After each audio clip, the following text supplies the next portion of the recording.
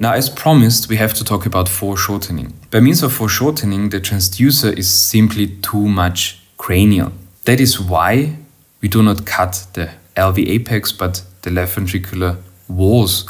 And by doing so, we can never see the true apical areas.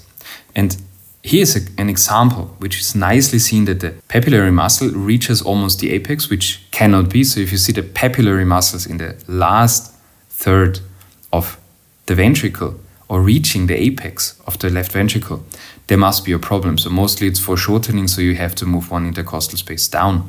The second thing you can depict here is that the left ventricular apex always moves inwards the left ventricular cavity. That is also a feature which is either pathological or simply you do foreshorten. Always when you see those features, or overall I would say, always try when you have an a good view of the heart to move one intercostal space down, just to be sure that you are truly seeing the apical regions. Also try breathing maneuvers. So if you see an image like this and then you go more apical and then you do not see the left ventricle optimally, let the patient inhale, let the patient exhale to see if the image quality might change. Very often it actually does and from my personal experience with inhaling, you often see the left ventricle even better. So keep in mind the optimal orientation. Avoiding foreshortening is essential to perform good echocardiographic exams. Yes, foreshortening is bad, of course. Here in this very severe example of foreshortening, we have really small left ventricular volumes we overestimate ejection fraction, we do not see the apical region, so we do not see wall motion abnormalities, we do not see thrombi, and we do not see, for example, an apical hypertrophy or also hypertrabeculation. So keep in mind, foreshortening is truly bad. How to avoid it? Move one intercostal space down. As said earlier, just try one intercostal space downwards and overall more lateral, more downwards for the apical views. And if you have an optimal two chamber view, you can see that foreshortening can be avoided in this case. So the true left ventricular apex normally, not in this case, in this case we have again the apical hypertrophic cardiomyopathy, the apical regions, really the apex, it is very, very thin. You can see that in MR quite nicely when you truly depict the left ventricular apex. So keep in mind to optimize your image, the field of view, and then optimize to chamber view you can avoid foreshortening. Why should we use then the apical four chamber view? And the other question around is why should we not? The apical four chamber view is simply amazing. You can see the global left ventricular function, you can see right ventricular function, you see the chamber dimension, you see the chamber dimensions of the left ventricle, the right ventricle, the left atrium, the right atrium. You see the interventricular septum, you see the interatrial septum, you see almost all the valves you want to find. You see tumors, you see free fluids, so pericardial effusion, thrombi. So with the four chamber view, that is the view you want to go in cardiology from my personal standpoint. And here's an example of a severe tricuspid regurgitation after a TriClip.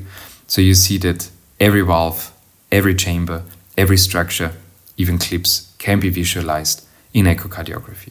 Here's another example of uh, four chamber view, and there's a problem with the valve. You see the left ventricle seems borderline in size, almost a little bit dilated already, and you do see that the valve has a problem. There is severe mitral regurgitation. It might not look like this initially, but you see the hyperdynamic LV function, you see the eccentric jet. That is a patient where a flail leaflet was present. So severe MR with a flail leaflet using color Doppler and the apical four chamber view. There are some rare structures you also can visualize, and in this case, we found a pericardial cyst. So here's the right ventricle, the left ventricle, the right atrium, and the left atrium. Here you can depict the left atrial appendage, and this below the right atrium, there's a structure. It's there's no blood flow in it. You can see that again with contrast, with contrast imaging, left atrium, right atrium, right ventricle, and left ventricle. And this black structure stays, as it is seen here, black. So there's no blood flow present. That turned out to be, and it was proven by an MRI, a pericardial cyst. You can differentiate several diseases, or at least get an idea which disease might be present. In this case, we have amyloid heart disease. Note the dilated left, the dilated right atrium. There is also atrial fibrillation present. See the valves, how they are closing prematurely, both the mitral and the tricuspid valve, the anterior and the posterior mitral valve leaflet. Here the anterior posterior leaflet of the tricuspid valve and here the septal leaflet, the severely concentric thickened left ventricle.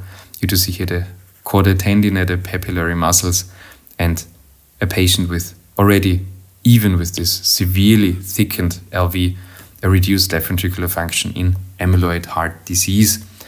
Or to be more specific, a left ventricular ejection fraction, which is reduced, of course, left ventricular function, is in this case probably severely reduced by means of strain imaging. This patient had a strain, a global longitudinal strain of around minus 10%. In this case, we have another example of a thickened heart. This is so-called hypertrophic cardiomyopathy. Note that right ventricular function, as there is no involvement, the right ventricle is not really hypertrophied, is normal. The atria are smaller compared to the patient with the amyloid heart disease, and it's simply a very different feature how the ventricle looks. There is no LVOT obstruction. We have here again the mitral valve leaflet. We do have a part, I would say, chordal SAM. So the SAM is the systolic anterior motion of the anterior mitral valve leaflet. In this case, we do see that this SAM occurs only for the chordae tendineae because there's a little bit of acceleration in blood flow, of course, at the outflow tract we do see this especially at the septum hypertrophied ventricle with a high normal ejection fraction in the range of 60 to 65%. We do see also a hypermobile interatrial septum and the thickening in especially the septal regions is severe, but also the anterolateral wall is thickened. The papillary muscles are also hypertrophied. Two more examples. This is a patient with a heart failure with reduced ejection fraction, so severely reduced ejection fraction, with another pathology, a left bundle branch block. You see this rocking motion of the apex, you see this septal flash, so it's an ineffective contraction of the ventricle. You see the broad ECG, so left bundle branch block seen in this example. And here we have a patient with a left atrial tumor, which turned out to be a myxoma. So with the four chamber view, you really truly can differentiate many pathologies.